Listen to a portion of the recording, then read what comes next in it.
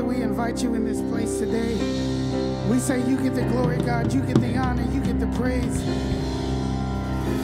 Have your way, Holy Spirit. Could you just sing your song to the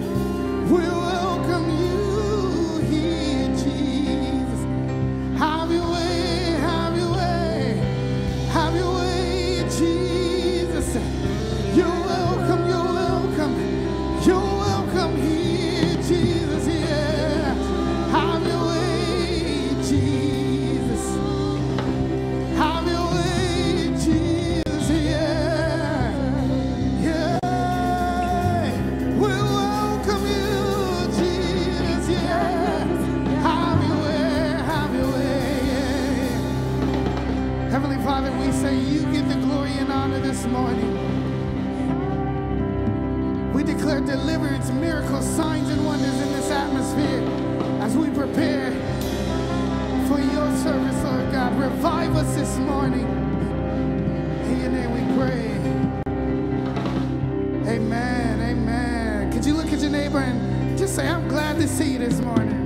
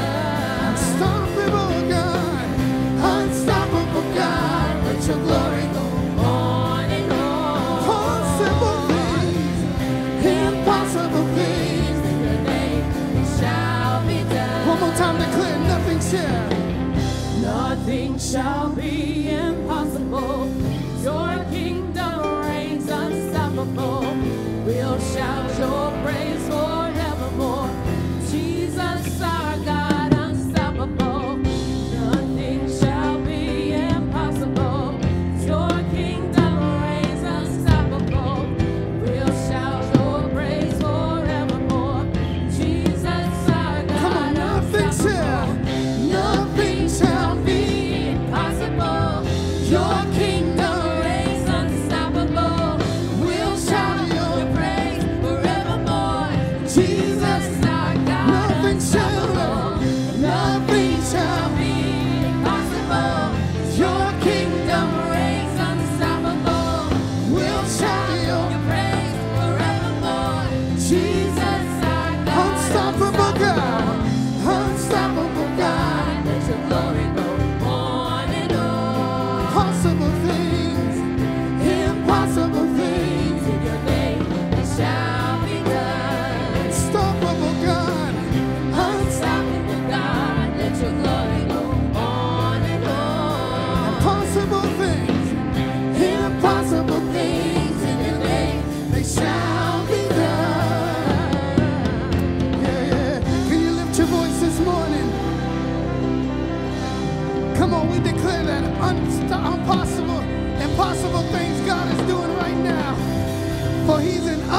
unstoppable God. Come on, if you believe it,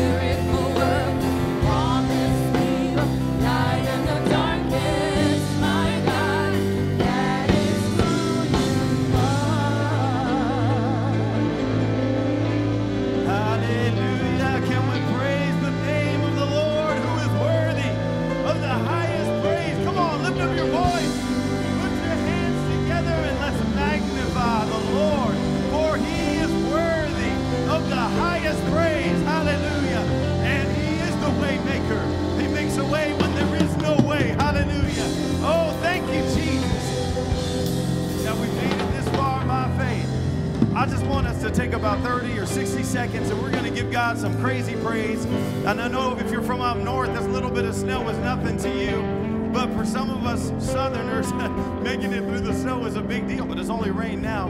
But you know, God will make a way no matter the obstacle, no matter the adversary.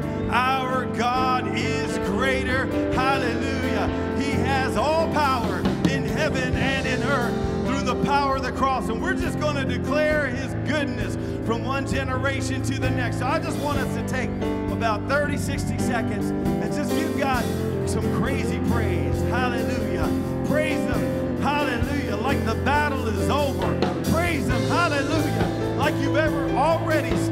onto the mountaintop of victory.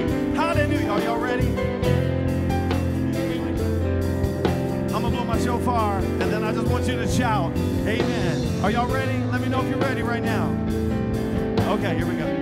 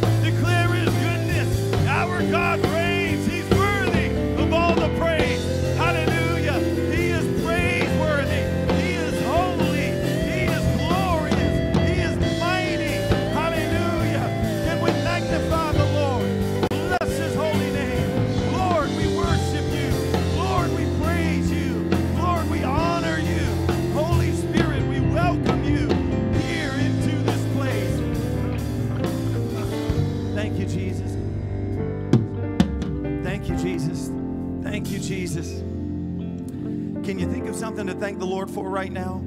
you know, thankfulness is a form of praise, and it's powerful. Hallelujah. We enter into his gates with a thankful heart, full of gratitude. Father, I thank you for your faithfulness. I thank you for your goodness. Thank you for your love, for your mercy, for your grace, for salvation, for abundant life, for eternal life, for Zoe life, for God life. Thank you, Jesus, that you redeemed me, that you saved me, that you translated me from the kingdom of darkness to, to the kingdom of light, the kingdom of your dear Son. Thank you, Father. We love you. We love you with our whole heart. We honor you today. We worship you. God, we need you. We look to you. We depend upon you, God. We seek you today. We ask you, won't you meet us? Bring us, Lord, through the gift of faith boldly before your throne of grace. God, to encounter you. Open the eyes of our hearts, Lord.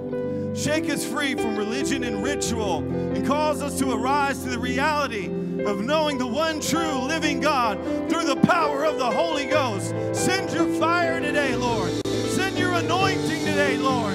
God, to break every yoke, to break every chain, to set every captive free. For where the Spirit of the Lord is, there is liberty. We thank you today. Hallelujah. For freedom in victory through the blood of Jesus Christ. Thank you, Lord. Thank you, Lord. Thank you, Lord. Hallelujah. Come on, one more time. Just put your hands together all across this room. If you're watching online, hallelujah. Just shock someone. Just shout out a shout of praise somewhere. Hallelujah. Come on. Hey, they already say you're radical. Why not prove them right today? Come on, let's give them some radical praise. Hallelujah. Glory to the Lamb of God. Oh, hallelujah. He is the lion of the tribe of Judah. Hallelujah. Oh, he's the beginning. He's the end. He's the Alpha. He's the Omega. He's the first and he's the last. There is none like our God. Hallelujah.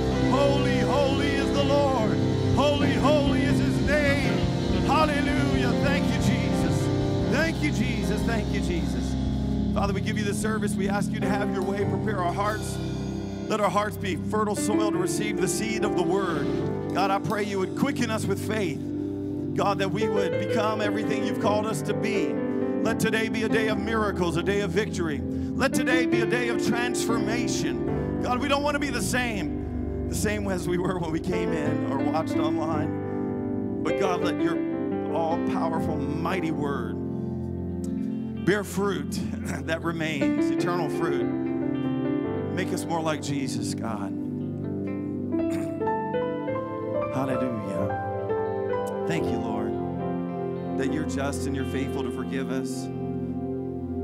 Thank you, Lord, as we humble ourselves and seek your face, as we pray, and Lord, as we turn from our wicked ways, Lord, you promise to heal our land. God, we ask you to begin healing uh, with us individually and personally in our families, in our homes, in our churches, God, and throughout the nation. Hallelujah. Holy Spirit, come right now. Holy Spirit, come right now. We need your presence. We need your power. We need you, Lord. Have your way. In Jesus' mighty name we pray. And everybody said amen. Can we bless him one more time? Hallelujah. He is awesome. We serve an awesome God. Hallelujah. Hallelujah. Let's say a quick prayer right now. I know um, from time to time I hear of different individuals who might be just um, facing health challenges, especially this time of year and all the other things going on with the pandemic and just everything. We just want to say a quick word of prayer. I ask you to lift up holy hands to the Lord if you can with me right now. Father, we join together in faith in one place in one accord, unified. Two or three gathered in your name. Two or three or more touching anything. And Lord, we touch any who are infirmed or injured or sick, any in the hospital, any family, friends, or loved ones, anyone watching online or maybe even in this sanctuary right now who need a touch of the Holy Ghost. And Lord, we decree the word of the Lord that by the stripes of Jesus Christ you are healed. God, we command every symptom to go. And we break the curse of death of the enemy. We declare, Jesus, that you are the resurrection and the life. And we command every infirmity, every disease, every sickness to go now in the name of the Lord Jesus Christ. We plead the power of the blood of the Lamb, the authority of the cross, the resurrection of the living God right now to remove every intruder, everything that would trespass within the body of Christ. We thank you for the victory in Jesus' mighty name. If you believe it and receive it, give God praise for the healing right now. He is a healing God. Oh, hallelujah. Jehovah Rapha, Lord God, our healer. Amen. I want to welcome you all to the Rock Church. My name is Pastor John. And before you're seated, can you give someone maybe an air high five or an air hug? Amen. And I can't wait for the day for the eradication of the coronavirus off the face of the earth. Amen. And you may be seated. It's so good to worship with you today. Let's praise the Lord for, uh, amen, Brother G and this wonderful, amazing worship team. And all of our media folks, you guys are awesome too. We love all of our amazing team here at the Rock Church. I call them the Dream Team. Amen. And you should see them in action in the drive in service. I know last week we had to cancel because of inclement weather. And I mentioned that uh, to, to, Brother Garner here that we were going to um, possibly doing a service in snow soon. Uh, and you got to be careful what you say. You know, life and death are in the power of the tongue. We were having clear, it was cold, but we had sunshine, and now uh, all this snow showed up. So let's decree a new thing, Brother G. Let's say we're going to have some uh, very pleasant, unseasonably warm weather, and we're going to think it's spring, even though it's wintertime, and we're going to be, amen, praising the Lord. So I know a lot of folks are watching online right now who usually come to our drive-in service, uh, amen, and then others maybe because of snow. Uh, if you haven't really looked, though, let me just point this out. It's kind of raining, and most of the roads are really cleared up. So it's, it's a blessing, really, in a way. Uh, I guess I won't be able to build my snowman, but uh, little Asia, my five-year-old, said, Dad, let's build a snowman. and so we go outside, and uh, you know, one of the first things she does, she uh, cre- creates a snowball. She pelts me, brother Tony, my five-year-old pelts me with a snowball. Uh, but then uh, I, Brother G had to show her what time it was because, you know, uh, with my aim. Don't worry, I didn't hit her hard with the snowball, but actually I missed. But we had so much fun. Uh, but, anyways, it is pretty to look at, but, uh, you know, I'm not really a fan of cleaning it all. But uh, what a blessing it is that you are here in the house of the Lord praise God and uh, to worship with us. And you picked a really great day because today, uh, one of our dear friends uh, and one of our favorite preachers, Brother Tony Suarez, is here to minister the word. And he's going to be coming up here in just a second. Now, I know we've switched up our format uh, because of having the drive in service afterwards. And so, you know, at the end of service now is when we worship the Lord with our offerings. So we give our tithes and offerings at the end. We've also been doing our announcements at the end of service after the preaching of the word, and we're going to still kind of stick with that and hold with that. But we do have one very, very special and important announcement to make today and an acknowledgement we want to make. Amen. And I'm going to ask Bishop Anne Gimenez to come up. Give her a great big hand. The mother of the house, the founder of the Rock Church, the bishop of the Rock Ministerial Fellowship.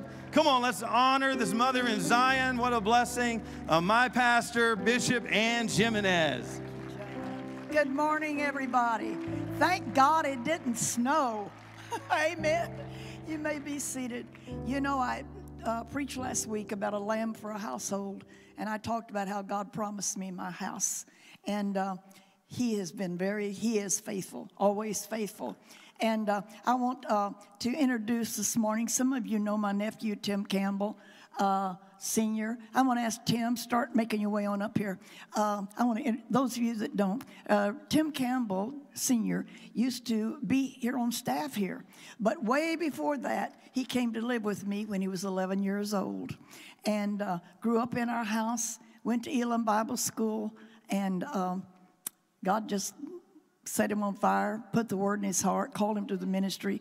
I'll never forget, I'll have to tell this.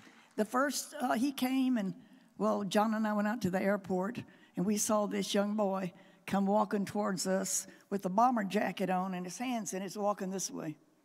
And I looked at John and I said, Here comes trouble. I want to introduce trouble to you today. I'm so proud of Tim and his boys that are with him today. Uh, where are you? Stand up, Jonathan and Timothy Campbell and Tim's wife, Brittany, is with us and I'm so proud of them all. Uh, they've just made me proud. But uh, Tim was here and he preached his older brother's funeral, really memorial service yesterday. And uh, God is faithful. God told me every one of them, every one of them. So here's another one of them. I want to introduce you Tim Campbell, senior pastor. Well, praise the Lord.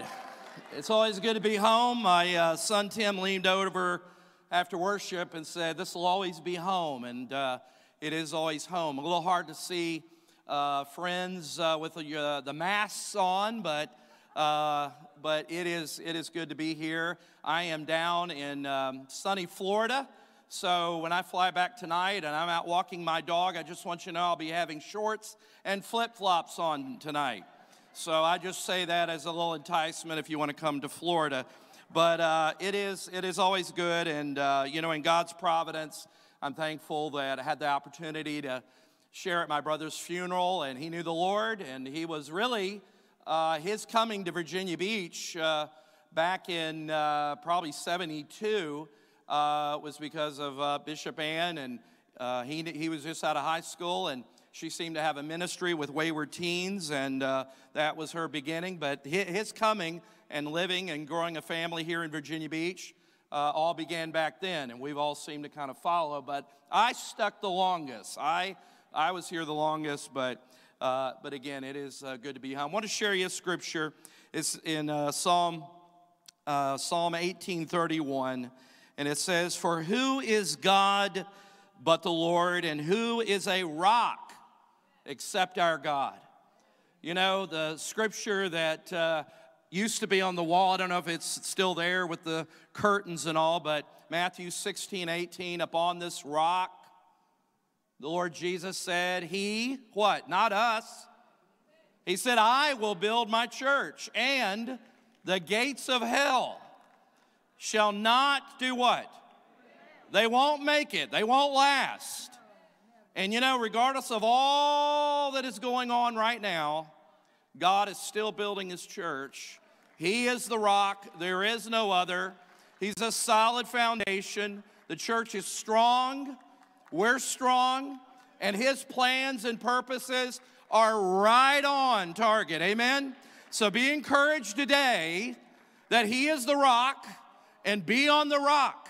It's not prudential, it's the rock of the Lord Jesus Christ. And uh, be encouraged in the Lord today. God has good things ahead. He's only getting started. Remember, He's an eternal God. So He's just barely warming it up, right? So God bless you. It's good to be here. Amen. Thanks, Jim. Love you. I won't see you again, will I? No, no. Okay. All right. Love you too. Okay. Amen. Well, I'm proud of my boys, all of them. So let's, uh, Brother John, are you coming now to introduce Brother Tony? There's a special song. All right. Come on, girls. Come on, boy, girls. Amen.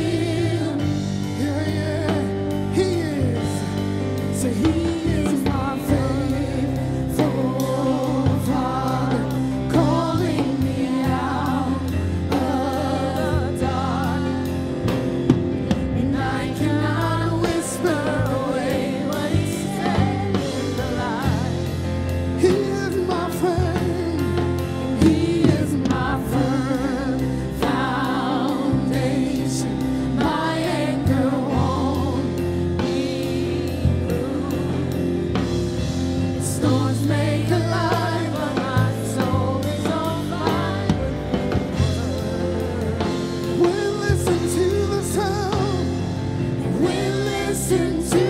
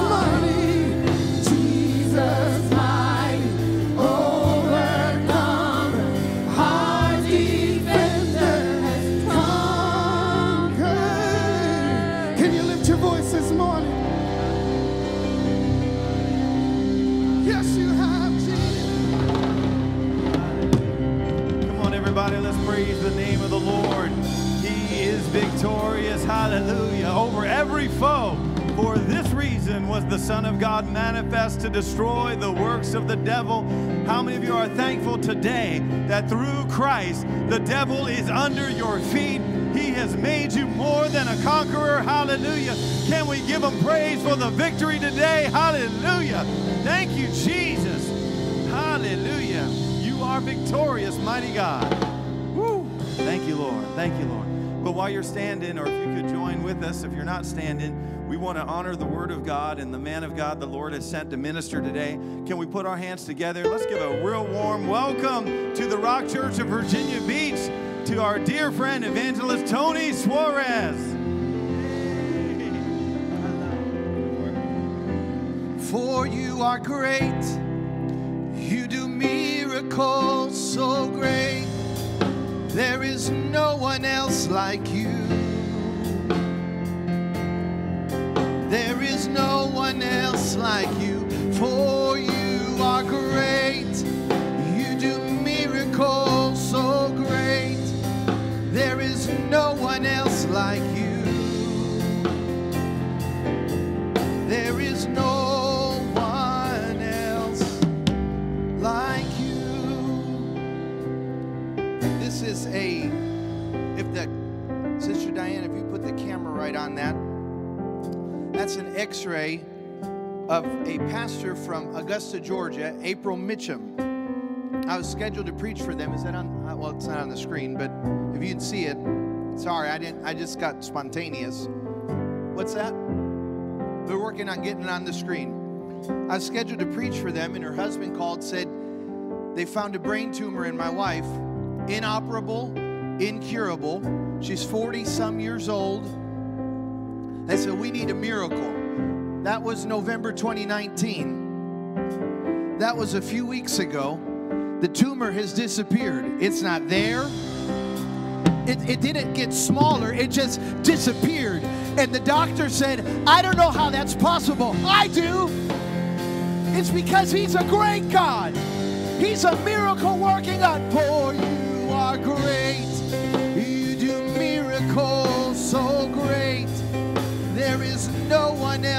Like you.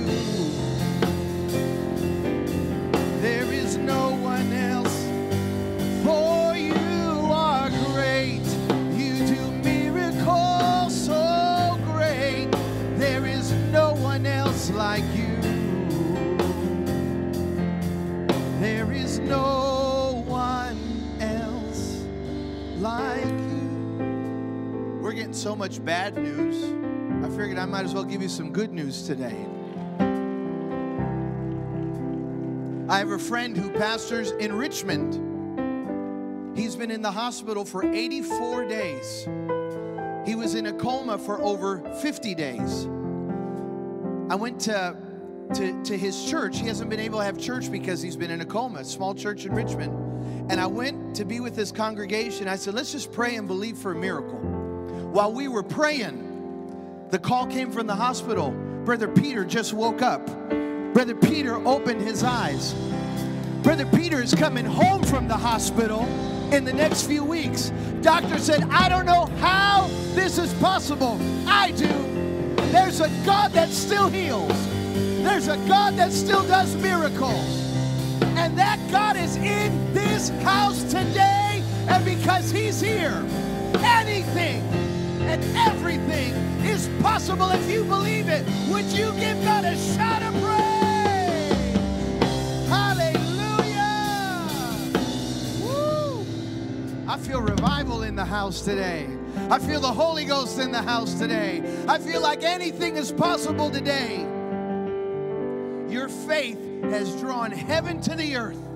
That's what faith does. It activates, it pulls on Jesus until he can no longer stay on his throne. He says, I'm going to go where there's faith. And so today, through our praise, through our song, through our faith, we're pulling miracles down and healing down and abundance. We're leaving. This is going to be the greatest Sunday. This is going to be the greatest week. This is going to be the great. How do you know? Because he's still a miracle worker. Hallelujah. All stirred up. I'm trying to figure out why I'm all stirred up, and then I saw Bishop's handkerchief is still here. The anointing came on me over here. I'm so glad to be in the house of the Lord today. Could have chosen anywhere, could have stayed home because of the slush, but I said, I'm going to the house of the Lord. Because I know that when I get in the house of the Lord, it's like the pool of Bethesda. At any moment, the angel of the Lord might come and stir the waters, and I might just be one step, one praise, one shout, one prayer away from a miracle. Hallelujah. Hallelujah. I'm encouraged today. You can be seated in the presence of the Lord. I'm so thankful to be home today. Amen. And I'm thank- thankful to be at the Rock Church and to be with Bishop Anne and with Pastor John and Sister Mary and everyone else. Hallelujah. How many love their church? Amen. You know, I started uh, last year, you know, I'm an evangelist. When all the churches shut down, I didn't have a church to reopen. So I was figuring out how could I take my stand for the church, and the Lord put on my heart to start having tent revivals.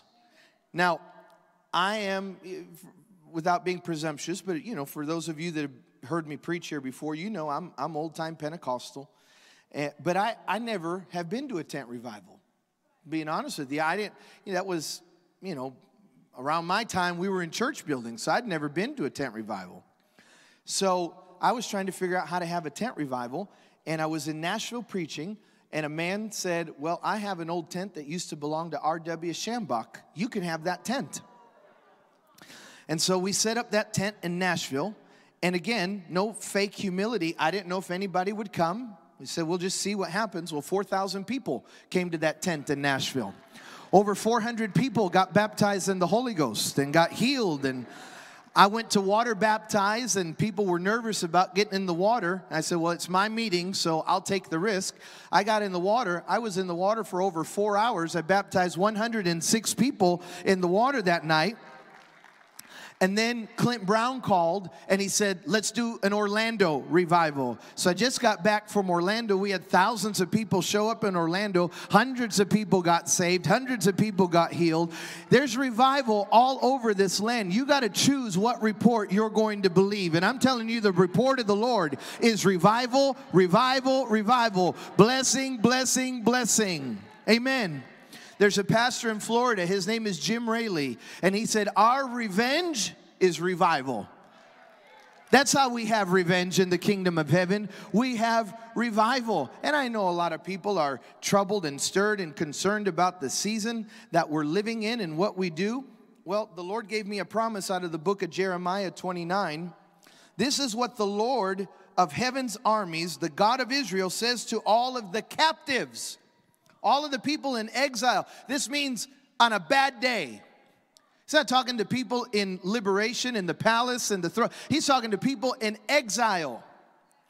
Here's what the Lord says build homes and plan to stay, plant gardens and eat the food they produce. Marry and have children. That's not talking about me. I got five kids, but that's talking about somebody else in the room.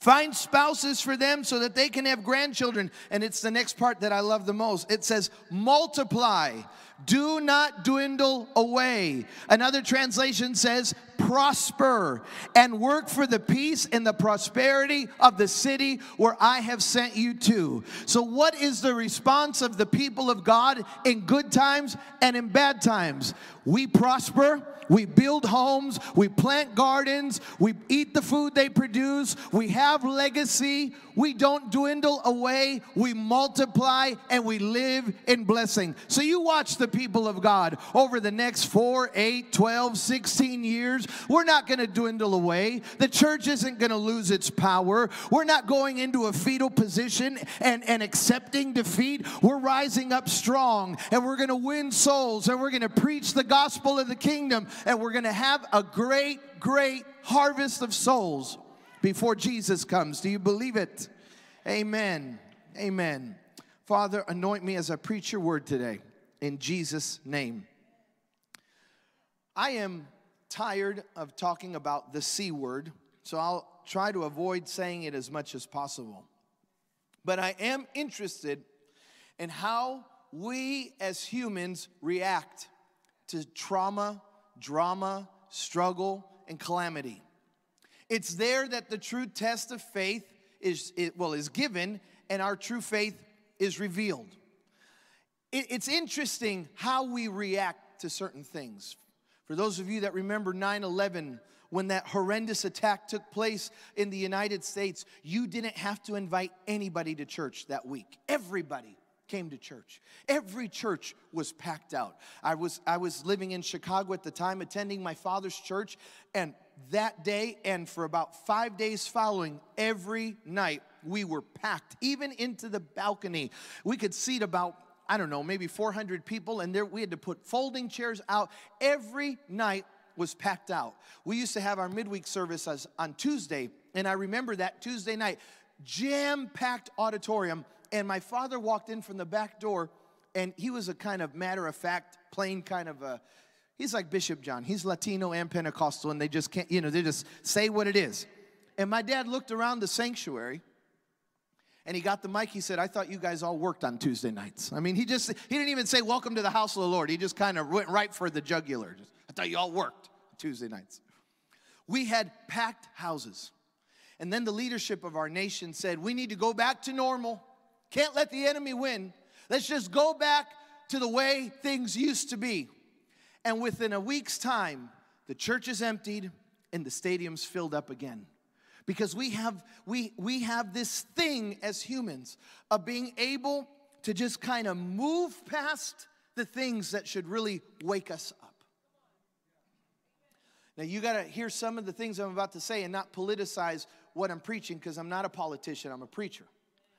As this season has evolved this unique season that we've lived through i have privately pondered why weren't we better prepared why didn't someone like leave a plan for what to do if there was a like why didn't the leadership of 1918 and 19 say and like write a book hey this is what you do when a pandemic or a, or a virus or something comes to the nation? Why didn't they do that? Well it turns out they did but it got lost.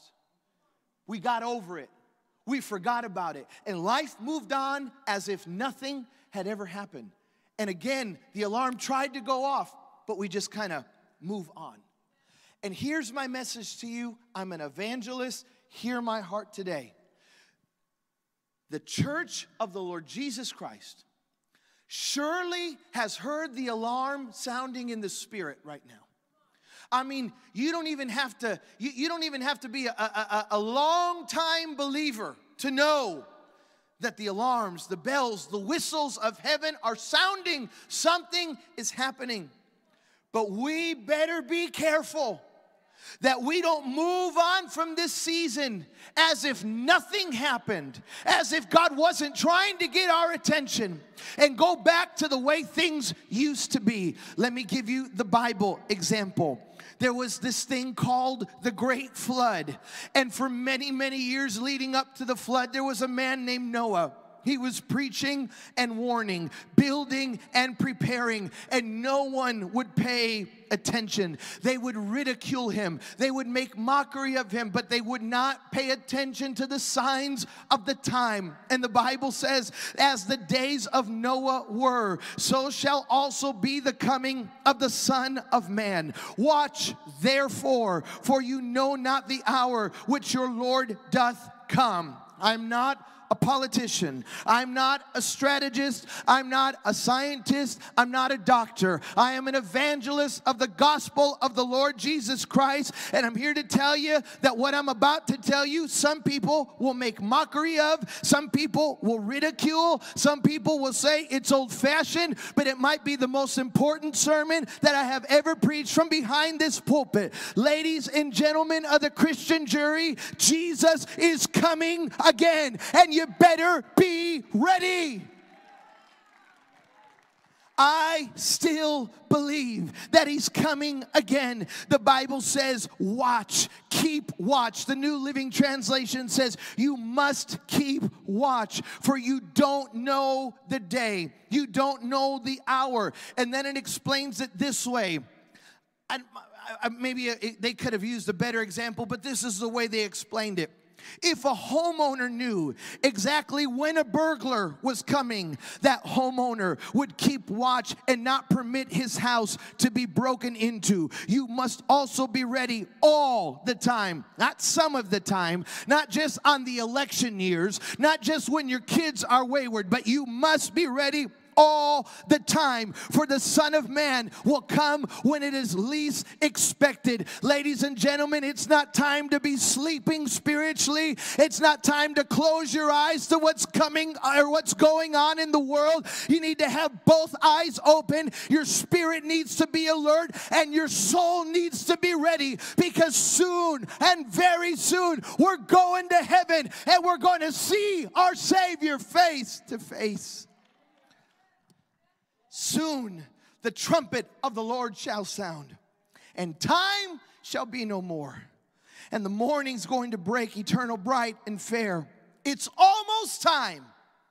It's almost time for the saved of earth to gather over on the other shore. And I've made up my mind. When the roll is called up yonder, not only am I going to be there, but my five children are going to be there. Every person I can influence is going to be there. I've made up my mind. If I have to go alone, I'm going alone. But I've also made up my mind. I will not go alone. As for me and my house, we're going to serve the Lord. As many people as I can preach to, I'm going to let them know Jesus is coming. Jesus is coming. And you need to get ready for the coming of the Lord.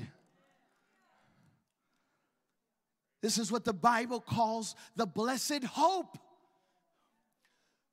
All, all of what we've done, everything we've preached and lived for, is pointing to that blessed hope. I still believe, as antiquated as it sounds, I still believe this message. When I was growing up in church as a boy, every song, every sermon was about the coming of the Lord.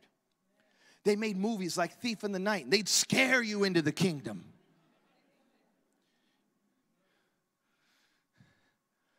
We were consumed with the rapture. And we knew he was coming again. And then it didn't happen in our time period. It didn't happen the way we thought it would. So some, somehow, some way, we stopped preaching Jesus is coming again. We used to have a healthy fear. I'm going to call it that a healthy fear of the coming of the Lord because you knew it could be at any moment. So there was no moment to let sin creep in. There was no time to rebel. There was no time to walk away from the church or get mad at the leadership or, or, or doubt. You couldn't do that. Because what if you did it and you missed the, the, the rapture? That's how we used to think. Every day I'd go to school, my mother would make me recite out of the book of James Blessed is the man that endureth temptation. For when he is tried, he shall receive the crown of life which the Lord has promised to them that love him. Let no man say when he is tempted, I am tempted of God, for God cannot be tempted with evil, neither tempteth he any man. For any man, when he is tempted, is drawn away by his own lust and enticed. And when lust is conceived, it bringeth forth sin. And at this point, she's poking me in the chest. And sin, when it is finished, it bringeth forth death. I walked to school trembling, not under the Holy Ghost, but under fear. I'm like, God, don't let me die today. But there was a healthy fear if you said the wrong thing, if you if you accidentally let a curse word out, you were repenting right away. If a little sin got in there, you were finding an altar to make it right because you knew at any time Jesus is coming again. I feel the passion, the burden, the conviction in me to stir it up in the church again. We can't live any way we want to live. We can't be fighting with anybody that we want to fight with. We can't be cursing and singing at the same time. We can't be drinking the world's drink and drinking from the cup of communion at the same time because we're too close to the coming of the Lord. We need to we need to sanctify this church. We need to be holy and only God can do that. But you can cry out to him and say, God, if there be anything in me that shouldn't be there, get it out, clean it out, wipe it out, because I want to be ready to meet you in the air. I still believe that one day, just like today, the trumpet of the Lord is going to sound. The shout of the archangel is coming from heaven. That eastern sky is going to part, and there's going to be explosions all over this earth as the tombs, the graves of Christian soldiers are opened and people like Bishop John and my late first wife Jessica and, and Brother Campbell's brother and others are going to burst from their graves and they're going to see their Savior. And those of us that remain, we're going to be caught up to meet them in the air. I still believe we're going to fly away. I still believe the trumpet's going to sound. It is my hope eternal. Nothing of this has been wasted. It's been building up to a monumental day of the coming of the Lord. So, from the oldest saint in this church to the newest convert, now's not the time to play around. Now's not the time to walk away. Now's not the time to give up. It's time to hold on like you have never held on. It's time to get a hold of this word of God and say, The earth shall pass away, but I still believe his word remains the same. I've been living for this day and I know it's coming. I know it's coming. It's called the marriage supper of the Lamb. We're getting married. Hallelujah. We're going home to see our Savior. Now, that doesn't mean that we just give up on the earth and we stop having authority and dominion and blessing here. But it means that I enjoy my life here while preparing for there.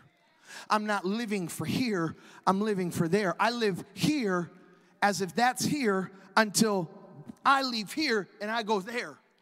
But I'm going to meet him in the air.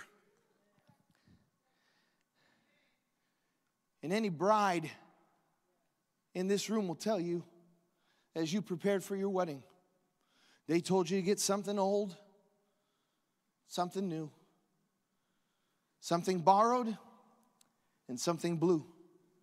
And if you're from England, they said, and make sure there's a sixpence in your shoe.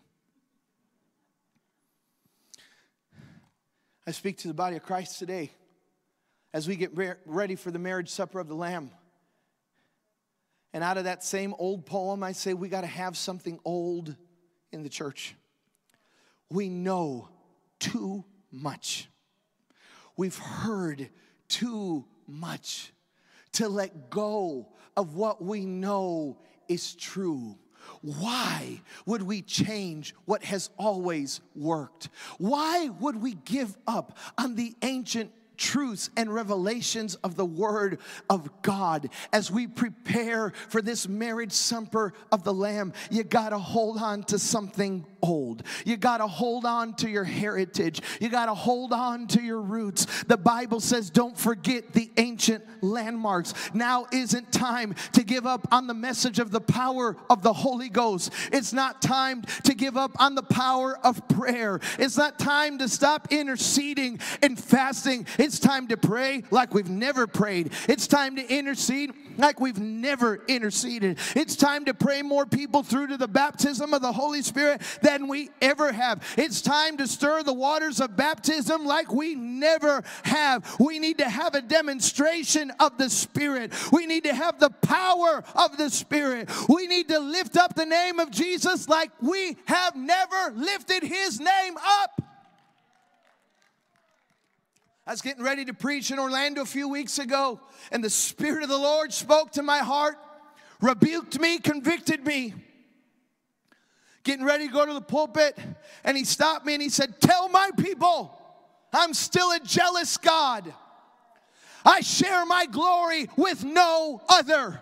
And he said, You tell my people, I have heard them say the name Donald, and I have heard them say the name Joe more than I have heard them say my name. You remind my people that salvation is only found in one name, healing is only found in one name, deliverance is only found in one name. You make sure that you are praying and you're speaking and you're decreeing and you're declaring in that name because it's at that name that every knee shall bow and every tongue shall confess.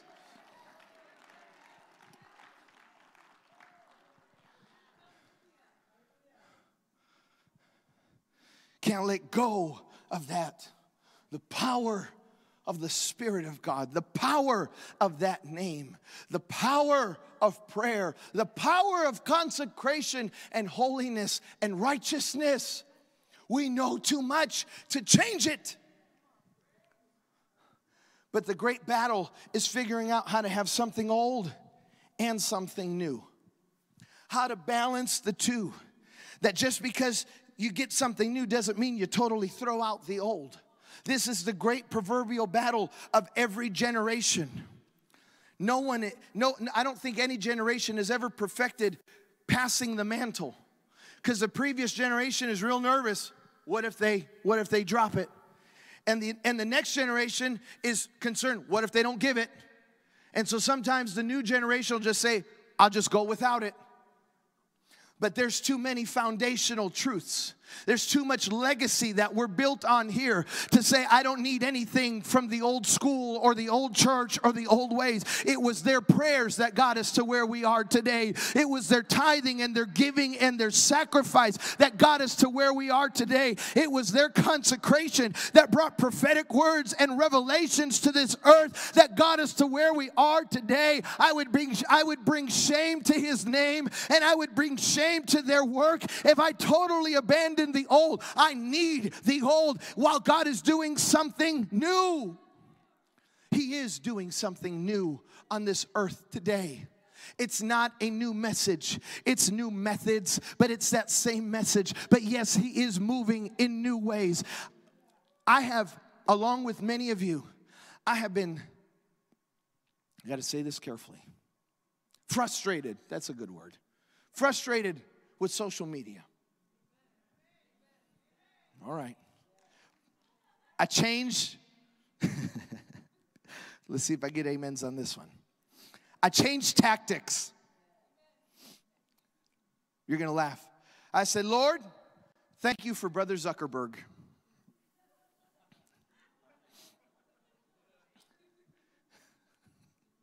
I'm just calling him by faith, my brother, in Jesus' name. Thank you for Mark Zuckerberg. Because before Mark Zuckerberg, I couldn't live stream my preaching for free. But God took, you say, God, God put the, yes, because all good and perfect gifts cometh from the Father above.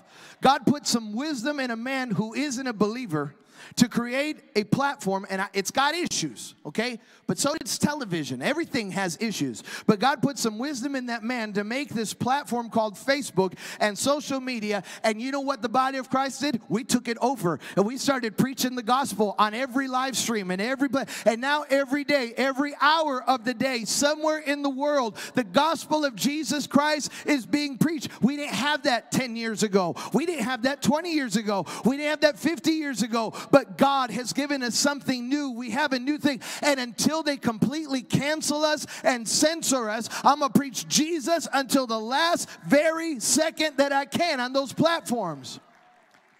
So I got old power and new methods. Someone said, But how are you going to reach the world with little old you? Do you know who my daddy is? He owns a lot of cows on a lot of hills. He's the best investor you've ever met. He's better than the guy that got everyone to strategize and go buy GameStop stop. GameStop stock. When my daddy says, blessing here, all the gold and the silver of heaven will come right here. When he says, I'm going to bless that nation, that country, that church, Jehovah Jireh provides everything we need. We are not operating. Uh, look, if it was under our ability, our wisdom, and our money, I'd say, let's clean up shop and go find a forest and live there till Jesus comes. But we have borrowed money. We have borrowed authority. We are the stewards of the good and perfect gift of the Father which is above. And He has given us His power, His dominion, His authority, yes, and His money to occupy this earth until that trumpet sounds. That's why I can boldly and confidently tell you today that of the gospel of this kingdom and of His government, there shall be no end. They cannot censor us, they cannot shut the church down. We're going to win souls like never before. So you got to have something old and operate in the new. Got to have something borrowed, but you got to have something blue. Blue symbolizes the love of God. This world, the way we're going to reach sinners, is by loving the sinner. But let, let, me, let me finish that statement though, because everybody says that love the sinner. You got to love them enough to tell them they're in sin. You got to love them enough to preach this gospel. You got to love them enough to say you can't stay the way you are. When Jesus comes in, things have to change. Old habits have to die away. Old lifestyles have to disappear. We got to love them enough to tell them the truth.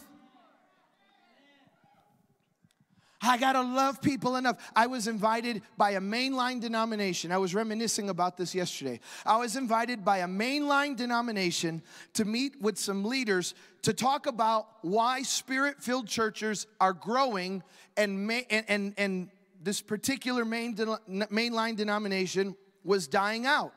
Now, rule number one, Brother John will tell you better than me, you got to know your crowd. I didn't know my crowd. I just assumed we all believed the same thing. I thought all Christians believed that there's a hell and a heaven. I thought all Christians believe Jesus is the only way to the Father. I just assumed if you say Christian, you believe those things. So when I went to do the seminar, they said, Pastor Tony, why is it that spirit filled churches continue to grow? And I was just being cheeky. I was trying to be funny. I said, Well, we still preach that hell is hot. We don't want anyone to go there. So we preach with passion that Jesus is the only way.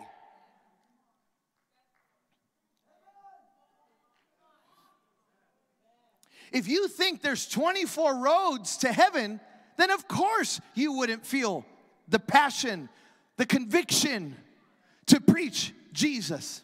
But I still believe there's only one way to the Father. You have to believe on Him. You got to believe that He died on the cross, that He was buried for three days, and that He rose back up again. You got to confess Jesus Christ is my Lord and my Savior. It's the only way.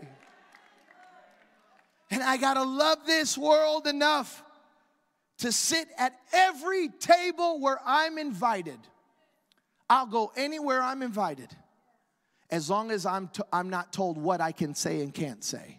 I'll go to any table. I'll sit down with any person and say, I want to, I love you enough. I got to tell you something.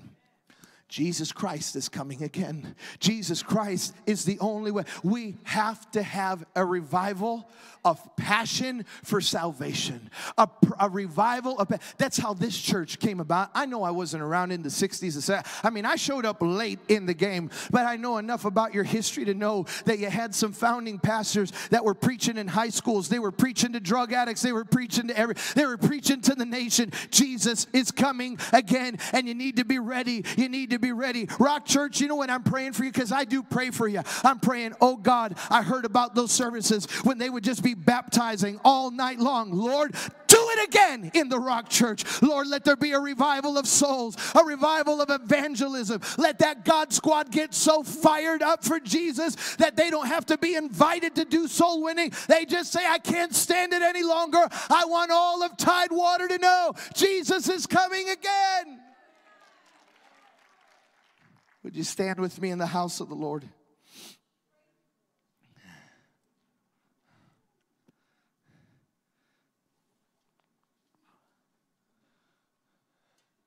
Hallelujah.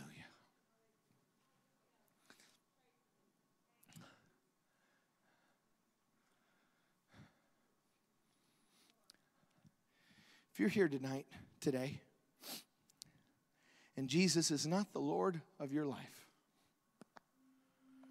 or maybe He's the Lord of your family, but He's not really your Lord. Maybe you've walked away. Maybe life has happened and you're just not where you're supposed to be with Christ. You have come to a non judgmental church. We don't care where you are as long as you're on, as long as you're running the race. Everybody slips and falls. Well, Pastor, if you'd have seen how I started out, I don't even really care about how you started out. I'm more concerned about you finishing the race. And if you're here today, I know the season, I know the uniqueness of the season. But if you're here today and you say, Pastor Tony, I want to make sure that I'm ready when the trumpet sounds. Got five kids at home. It consumes me. They got to know Jesus is coming again. It'll, it'll protect them from falling into some pits of sin if they have a healthy fear. No, I can't go there. Jesus might come while I'm there. No, I can't, I can't get into that relationship. Jesus might come while I'm in that relationship. No, I can't, I can't do that. Jesus might come tonight. That'll protect you. That'll protect you. If you're here tonight and He's not the Lord of your life, or maybe you say, I need a tune up. There's nothing wrong with that. My wife Gina's 80, uh, 86 year old grandmother. We were in a revival at my in law's church, small church in eastern Tennessee. There's about 30 people in the room. And the evangelist made an altar call. And Mother Carver, 86 years young, been baptized in the Holy Ghost for over 60 years she told me she's had the Holy Ghost for over 65 years. She came down the center aisle on a walker. And I wondered from my preacher chair, what's Mother Carver coming for? I thought maybe she needed the Lord to touch her hip, touch her knee, touch her leg. She brought herself forward on the walker. And the evangelist came down and he said, Mother Carver, what do you need of God? And she raised her hand and she said, I just need a fresh touch. And I got so convicted in my spirit. If that saint of God, who has spoken in tongues for over 65 years, if she needs a fresh touch of God, God, so do I. So there's no shame today if you say, Preacher, I just need a refill. I just need a fresh touch. I just need a fresh baptism of passion to live for God. I know it's a unique season. So only if you're comfortable and if you're not, that's okay. Where you are is the altar of God. But if you're here today and you say, Preacher, I want to make sure I'm ready for the coming of the Lord.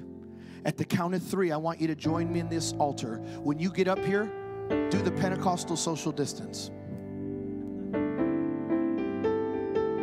Go ahead and do the Pentecostal spin if you want to make sure there's enough room around you. If you're here today and you say, Preacher, I want to make sure that if the trumpet sounded today, I'm ready to meet him in the air. If that's you, at the count of three, I'm waiting for you in this altar. This isn't the time to patty cake with your salvation. It's not time to play with your salvation. It's time to stop giving in to human philosophies, human agendas, and human. eh, eh, the Bible calls it nonsense. It's time to hearken to the voice of God. If that's you at the count of three, I want you to join me in this altar. I want to pray with you. Salvation has come to your home today. One, two, three. Come now. Come now. Come now. Hallelujah. Hallelujah. Hallelujah. Hallelujah. I see some coming. Hallelujah. Hallelujah. Hallelujah. God bless you. God bless you. God bless you. God bless you. Hallelujah. I want to be ready. I want to be ready. I want to be ready. Someone needs to come for their children today. I want my kids to be ready. Hallelujah. Hallelujah. Hallelujah. Hallelujah. Hallelujah.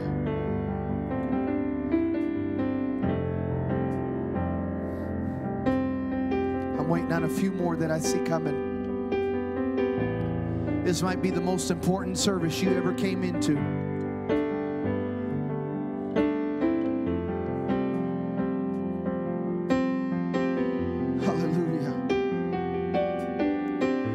Jesus is coming again. Brother John could tell you better than I do, than I can. That's how the early Christians would salute. That's how they would greet each other. Maranatha, Maranatha, which means Jesus is coming again. It's what they were living for. It's what they lived for. It's what they died for. Jesus is coming again. Waiting on a few more. I see a few more people stirring back there. Maybe I can, maybe I should, maybe I shouldn't. No, you, you, you should. God bless you. I see you there. Jesus is coming again. Jesus is coming again.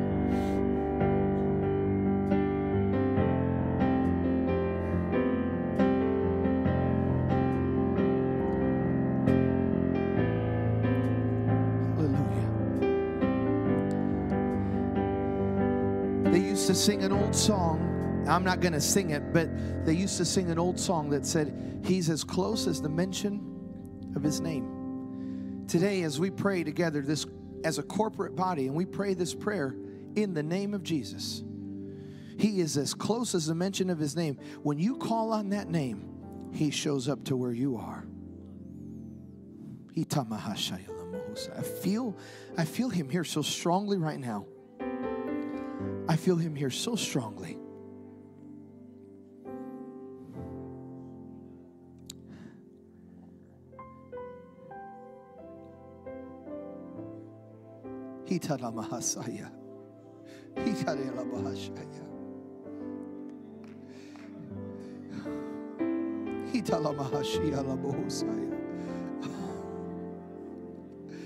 Hallelujah. Hallelujah. Hallelujah.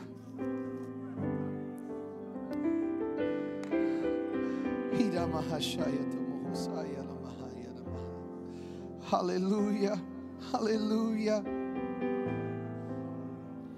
Jesus is here.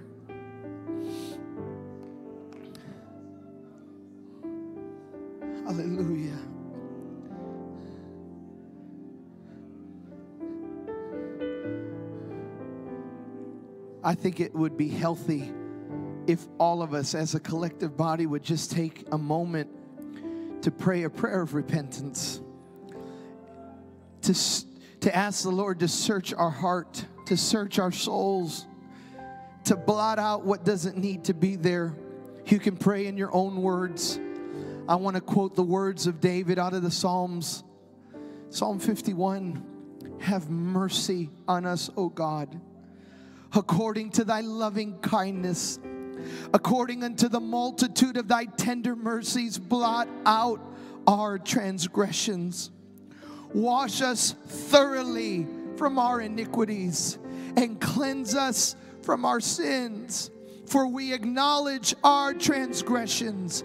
Our sin is ever before us. And against thee, thee alone, thee only, O God, have we sinned. And we've done evil in thy sight. And thou mightest be justified when thou speakest and be clear when thou judgest. Behold, we were shapen in iniquity, and in, in sin did our mother conceive us. But purge us today, purge us with hyssop, and we will be clean. Wash us, and we will be whiter than snow. Make us hear joy and gladness, and hide thy face from our sins. Blot out our iniquities. For those of you that have come to this altar, for those of you that wanted to respond but are felt more comfortable where you're standing or where you're watching, you can pray with me or you can pray in your own words. Lord Jesus, I acknowledge that I'm a sinner and I need a Savior. I failed you at times, but I ask you to forgive me. Wash me in the blood of the Lamb. I repent of my sin. I repent of my rebellion. Come in this heart and be the Lord of my life and the Savior of my soul. I make a commitment to you, oh God. I'm going to live ready. I'm going to be ready to meet you in the air. In Jesus' name. Thank you, Father. Amen and amen. Would you give God praise in the house?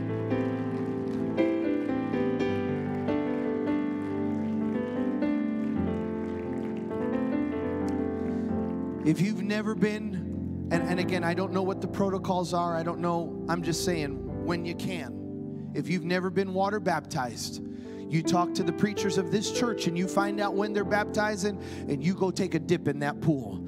Old man is buried and you come out a new creature. You find out when they're water baptizing and you get water baptized. If you're not sure, if you were baptized as a baby, as an infant, and you're not sure about your baptism, I'd sign up and I'd go take a fresh dip in the pool. If you've never been baptized with the power of the Holy Spirit, I'd find myself a prayer partner, I'd find myself a minister, and I'd say, Help me start praying for that wonderful baptism of the Holy Ghost. It'll why wouldn't you want it? Someone said, Well, why wouldn't you want everything the Father has for you? I'd get everything. I'd get saved, I'd get the Holy Ghost, I'd get salvation, I'd get prosperity, I'd get abundance, I'd get victory, I'd get everything the Father has for me. And one last thing before I give it to Pastor and Bishop. Father, I pray for every saint of this house, every minister of this house, every preacher of this house. Hallelujah. God, stir a passion in us to preach the gospel. Like Paul said to Timothy, stir up the gift that's on the inside of you. Father, stir us up with passion until we can no longer take sitting idly by, but we're so stirred up that we preach, we prophesy, we make disciples, we baptize, we make converts.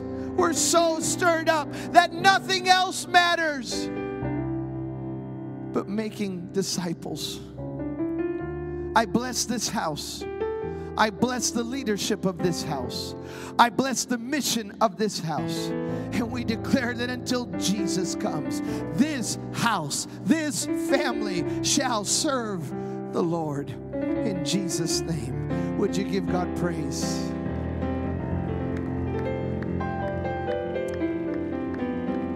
Hallelujah. Amen. You may be seated. Wow, what a message. What a word. I feel the fire of revival stirring in the church, in our hearts. I thank God for this message today.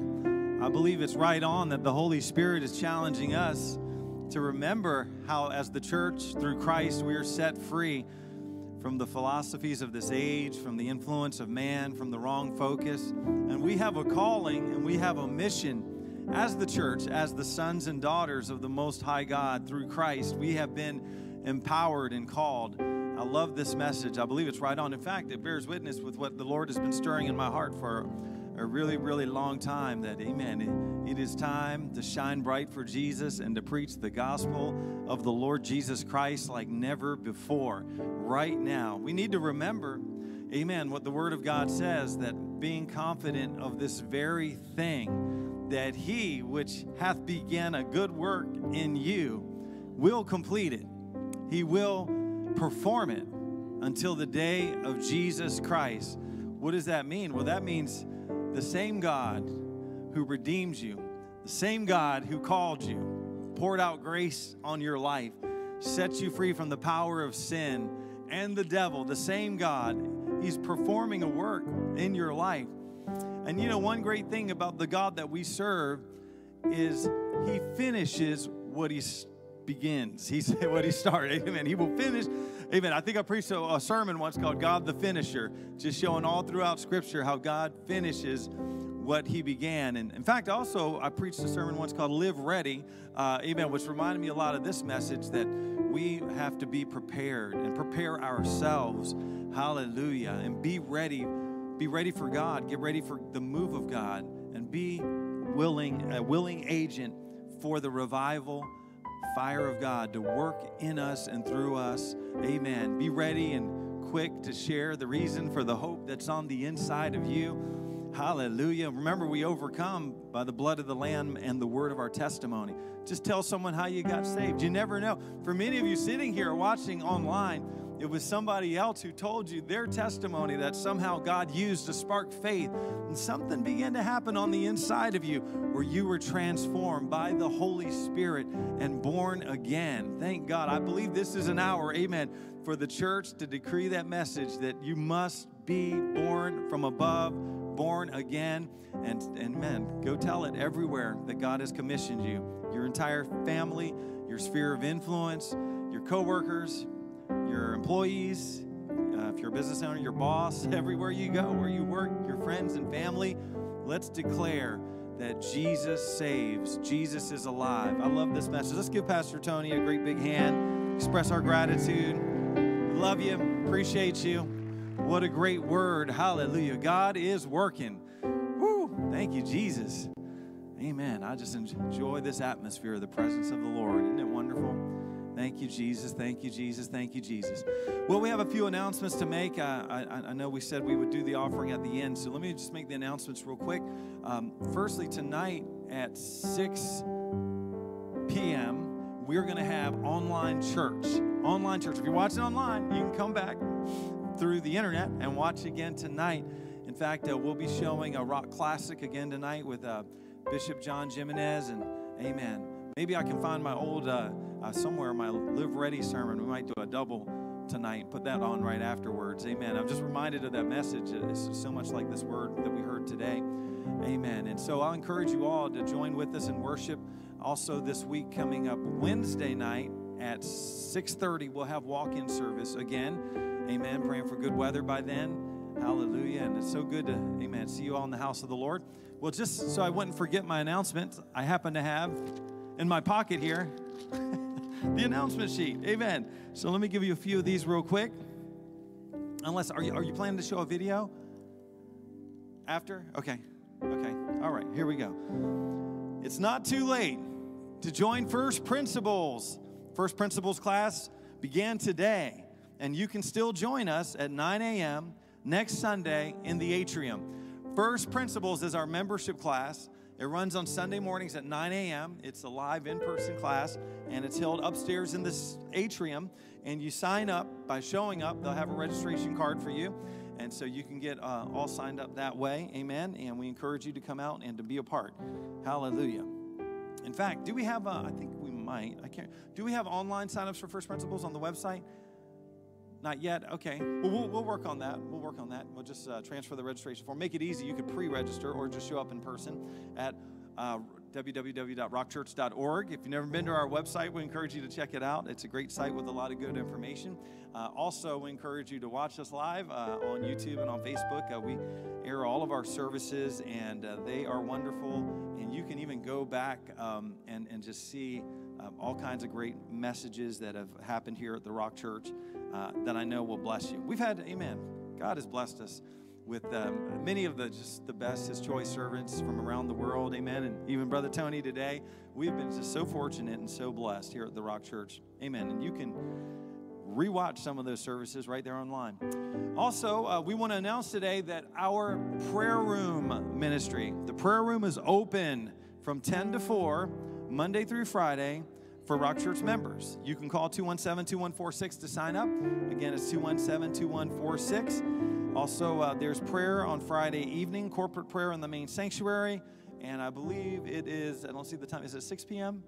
It's at 6 p.m. on Friday evening, right here in the main sanctuary. I want to thank those of you who joined us for the special call to prayer and fasting. And we had those special prayer meetings in the mornings. They were wonderful from 7 to 8 in the main sanctuary. We extended them until just this last Friday uh, on the 29th. And uh, all right, here's a couple other announcements, real quick. Check out your new bulletins for upcoming events and opportunities to serve. And Pastor Ted Winsley is not going to be here next weekend because instead he is rescheduled to April the. Do you have the new date? 25th. All right, so mark it down. How many y'all remember Brother Ted? Remember the Philadelphia Eagles chaplain and the whole story? You don't remember that? You should look at the service. It was awesome. In fact, um, he gave me as a gift an autographed Philadelphia Eagle football. Now, y'all know, y'all know I'm not an Eagles fan, but it was signed by a Christian brother, so I accepted the gift, of course. I, I still have it, believe it or not. Amen. But he has such a powerful word, very anointed man of God. He ministers uh, in the New Jersey area, right next to Philly, and he's going to be here on April, you said the 25th. So mark it down. Don't miss it. I think, isn't there a men's breakfast too with that? You'll, okay, to be announced, to be announced. But we know he'll be ministering here on the 25th. Don't miss it. It's going to be absolutely awesome. All right, now I have maybe one of our most important announcements of all day that yesterday was Pastor Robin's birthday. So, Pastor Robin, I believe, is she, should we sing happy birthday to her? Is she here? I thought I heard mention that she was right there in the back. Okay. If not, um, uh, amen. We, we, will all tell her happy birthday. Oh, and by the way, because, you know, I had my birthday on the 21st, and many of you were so generous and kind to send me gifts and cards. I just want to thank you for that. I want you to know when you send a card, I read every one, and I appreciate it. Amen. And not only what you wrote, you know how they print the thing? I read the whole deal. And thank you so much. You guys are so sweet, and I just love this congregation. I really want to say, no offense to other pastors, but I believe that Rock Church is the best church in the universe right here in Virginia Beach. Come on, give yourselves a great big hand. Yes, we are. A pat on the back. You might say, well, I don't know if we're the best. But you know, it doesn't hurt to think, amen, by faith, right? We're going for it. I tell you what, we are a very, very special community and family of God. And um, I, I, love and appreciate every one of you. Uh, everybody, amen. Thank you so much. And make sure if you get a chance to wish Pastor Robin a happy birthday. Some of you already have on, online and other places. Amen. And we appreciate that so much. Amen. Well, at this time, uh, our next thing we're going to do is uh, worship the Lord through our giving. And I want to ask uh, our bishop, my pastor, to come and she's going to share with you and encourage you, amen, in your generous gifts. Also, don't forget the special offering for our guest speaker today. We're going to do that as well. She'll tell you more about that. Give Bishop a big hand one more time. Amen. We are, I look forward to the opportunity to give. And then sometimes I get to thinking, have I given all my tithe on everything that came in my hands this week or this month? Sometimes the little gifts are a birthday or somebody sends something. And uh, I, I have a little, ch- I want to be sure, I want to be sure I'm up to date with the Lord. I, I hope you feel the same way. Amen. I love to give to God what belongs to Him, and a little bit more. Let's stand together. We're going to say our 1234 blessing, Luke 1234. Amen. Let's get on the screen. Praise the Lord. There it is. Everyone together. Upon the authority of your word I have given, and it shall be given back to me, pressed down, shaken together, and running over. I am a tither, and I give my 1234 commitment. I bring them today into your storehouse. Therefore, the enemy is rebuked. The curse is broken. I live under an open heaven. You pour out upon me such a blessing that there's not enough room to receive it. We receive jobs and better jobs, raises and bonuses, sales and commissions, benefits and settlements, discounts, estates and inheritance, interest and income, rebates and returns, checks in the mail, gifts and surprises, bills paid off, debts demolished, and royalties received. My whole family saved and walking with God. Perfect health and abundance to walk in divine favor and blessing. I am blessed going in, I am blessed going out. All that I do will prosper in the name of the Lord Jesus Christ. Amen. Amen. Remember, the envelope is in the front of the pew, and I want to encourage you, as Brother John just mentioned, write a little another check for a love offering for Brother Tony Suarez. We want to bless him. Amen. You may be seated, and the ushers are going to dismiss you by section